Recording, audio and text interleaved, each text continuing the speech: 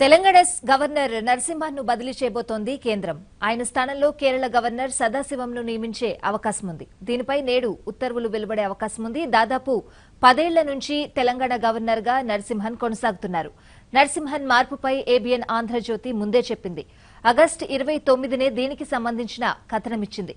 నిన్న రాత్రి నుంచి నరసింహన్ స్థానంలో కేరళ గవర్నర్ సదాశివంను నియమించే అవకాశం ఉందని ఢిల్లీలో ప్రచారం జరుగుతోంది.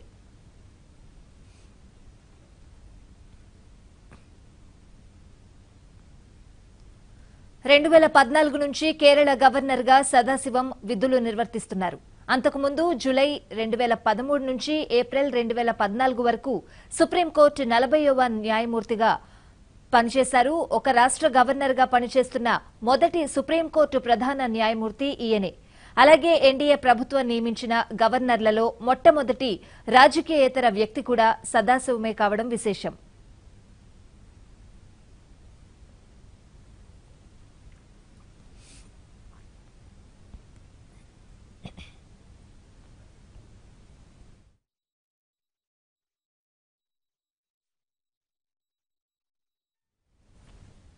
పంతొమ్మిది వందల నలభై తొమ్మిది ఏప్రిల్ ఇరవై ఏడున తమిళనాడులోని ఈరోడ్ జిల్లాలోని కడప నల్లూరులో సదాశివం జన్మించారు. చెన్నై గవర్నమెంట్ లా కాలేజ్ నుంచి పట్టభద్రులయ్యారు. అంతకుముందు శివకాశిలోని అయ్యనాదర్ జానికి అమ్మాల్ కాలేజ్లో బీఏ పూర్తి చేశారు. పంతొమ్మిది వందల డెబ్బై మూడు జులై ఇరవై ఐదున అడ్వకేట్గా పేరు నమోదు చేసుకున్న ఆయన అంచెలంచెలుగా సుప్రీంకోర్టు ప్రధాన న్యాయమూర్తి వరకు ఎదిగారు.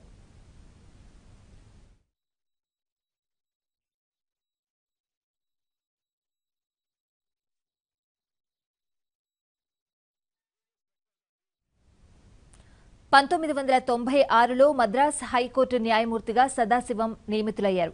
రెండు వేల ఏడులో పంజాబ్ హర్యానా హైకోర్టుకు బదిలీ అయ్యారు. అదే ఏడాది సుప్రీంకోర్టు జడ్జిగా పదోన్నతి పొందారు. సీజీఐగా ఉన్న సమయంలోనే Gujarat national law university general కౌన్సిల్కు చైర్మన్గా పనిచేశారు.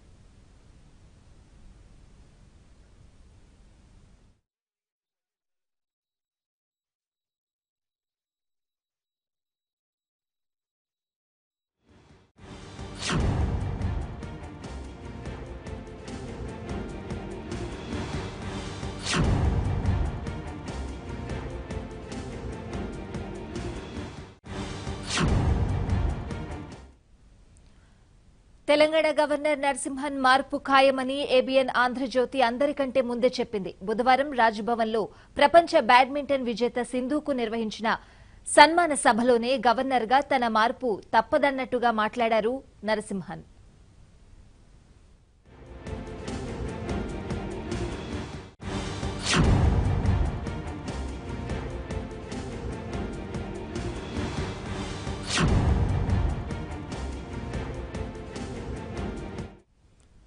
గవర్నర్గా తానున్నా లేకున్నా రెండు వేల ఇరవై ఒలింపిక్స్లో సింధు బంగారు పథకం సాధించాలని రాజ్భవన్కు వచ్చి తొలి సన్మానం అక్కడే అందుకోవాలని నరసింహన్ ఆకాంక్షించారు. అయితే ఆయన వ్యాఖ్యల్లోని మర్మాన్ని ఒక్క ఏబిఎన్ ఆంధ్రజ్యోతి మాత్రమే పసిగట్టగలిగింది. తన మార్పు విషయం ముందు ఆయనకు తెలిసి ఉండడం వల్లే నరసింహన్ ఆ వ్యాఖ్యలు చేసుంటారని అంచనా వేసింది. సరిగ్గా ఏబిఎన్ ఆంధ్రజ్యోతి చెప్పినట్టే ఇప్పుడు గవర్నర్ నరసింహన్ మార్పు జరగబోతోంది.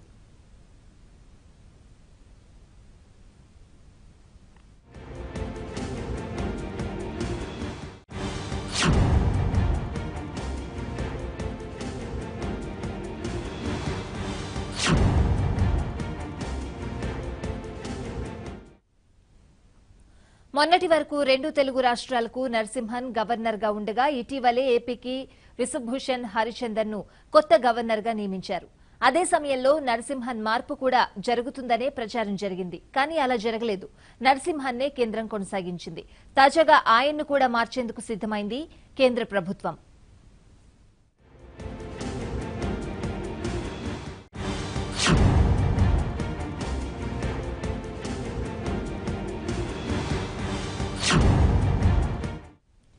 గవర్నర్గా అనేక ప్రత్యేకతలు సొంతం చేసుకున్నారు నరసింహన్. ఉమ్మడి ఆంధ్రప్రదేశ్ చివరి గవర్నర్గా తెలుగు రాష్ట్రాల ఉమ్మడి గవర్నర్గా సరికొత్త రికార్డు నమోదు చేశారు.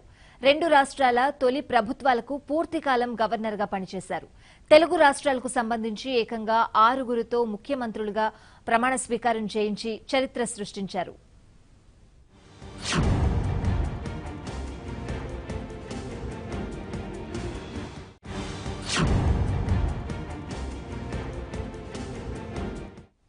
రెండు వేల పది జనవరిలో నరసింహన్ ఉమ్మడి ఆంధ్రప్రదేశ్ గవర్నర్గా బాధ్యతలు చేపట్టారు. విభజన అనంతరం కూడా రెండు రాష్ట్రాల తొలి ప్రభుత్వాలకు ఉమ్మడి గవర్నర్గా పూర్తికాలం బాధ్యతలు నిర్వర్తించారు. ఇటీవల ఏపీకి కొత్త గవర్నర్ను నియమించడంతో ఆ తర్వాత తెలంగాణకు పరిమితమయ్యారు.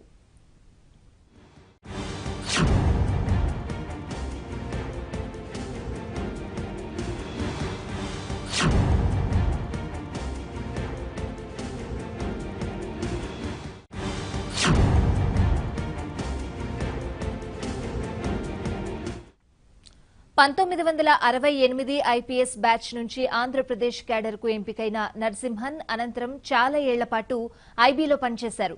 ఐబీ చీఫ్గా రెండు వేల ఆరు డిసెంబర్ వరకు పనిచేసిన ఆయన ఆ ఏడాది చివరిలో రిటైర్ అయ్యారు.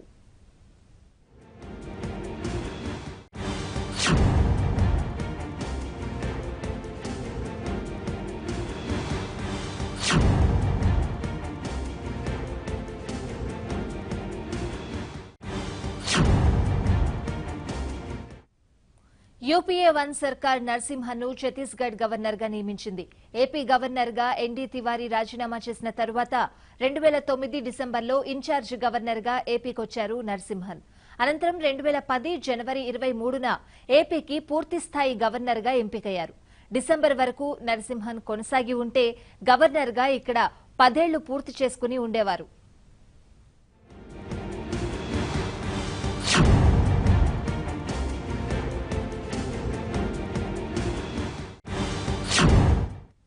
తెలంగాణ గవర్నర్ నరసింహన్ మార్పు ఖాయమని ఏబిఎన్ ఆంధ్రజ్యోతి అందరికంటే ముందే చెప్పింది. బుధవారం రాజ్భవన్లో ప్రపంచ బ్యాడ్మింటన్ విజేత సింధుకు నిర్వహించిన సన్మాన సభలోనే గవర్నర్గా తన మార్పు తప్పదన్నట్లుగా మాట్లాడారు నరసింహన్.